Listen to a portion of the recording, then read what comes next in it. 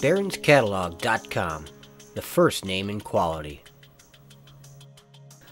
There's something unique about Portmeirion casual tableware that sets it apart from all others. Maybe it's the trend-setting dinnerware patterns its founder, Susan Williams Ellis, designed in one-of-a-kind shapes, like the ever-popular Portmeirion Botanic Garden series or the Portmeirion Christmas collections that make gift-giving these affordable items a wise decision. No matter the reason, Portmeirion dinnerware exceeds your expectations for quality, affordability, and design like no other.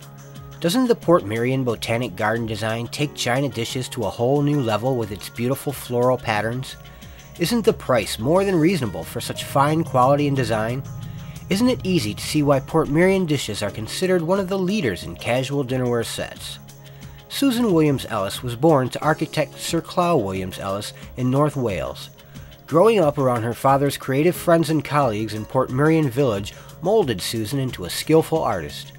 Her father eventually asked her to create ceramics for his shop in the village, and with that, her destiny was set forth.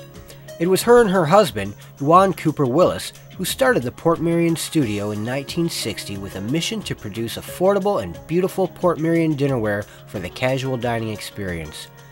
After acquiring a pottery company, Portmeirion became Portmeirion Potteries, where her Portmeirion set designs are still being produced today. In the beginning, designs like malachite and moss agate rose in popularity. Pomona and the popular seasonal pattern, the holly and the ivy, garnered attention, along with Portmeirion Roses collection and Portmeirion Christmas. Recently, the Sophie Conran Portmeirion series has added oven-to-table cookware dinnerware to the company's offerings. With versatility and functionality and designs like sage and white oak, these casual dinnerware sets are more reasons why they have everything you're looking for.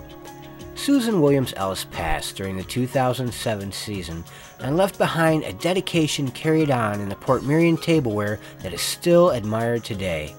Whether it's a china dishes in the Botanic Garden Portmeirion design or a Portmeirion bowl with balance and beauty, Susan's effect on casual dinnerware made a deep impression in the world of art and porcelain dinnerware sets.